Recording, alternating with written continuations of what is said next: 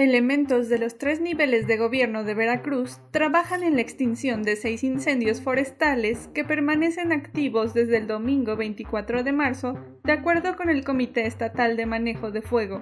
En la zona alta de las montañas se combate el incendio en el paraje Aserradero en el municipio de Maltrata, con un nivel de control del 40% y un 30% de liquidación. En el Cerro El Gentil, ubicado en el municipio de Huiluapan de Ocampo, especialistas trabajan para contener las llamas, mientras la Guardia Nacional gestiona el tráfico en las carreteras cercanas. En Soledad Atzompa se reporta un siniestro en el paraje de Axoxohuila del predio Vicente Guerrero con un 90% de contención y un 70% de aniquilación, mientras que en Texhuacán, en el paraje Reserva Texhuacán del predio Reserva Ecológica, se cuenta con un 80% de dominio sobre el fuego y un 30% de eliminación, siendo gestionado por fuerzas locales de Texhuacán, Tequila, Soledad Atzompa y Zongolica. En el Valle del Perote se erradicó un incendio en la Tepecilera mientras se atiende otro en el ejido Los Molinos.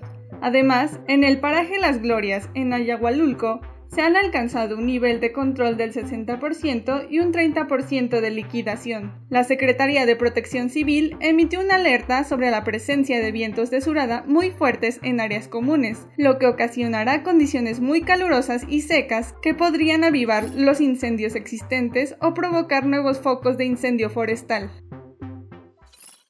Mantente informado con el Universal y suscríbete a nuestro canal.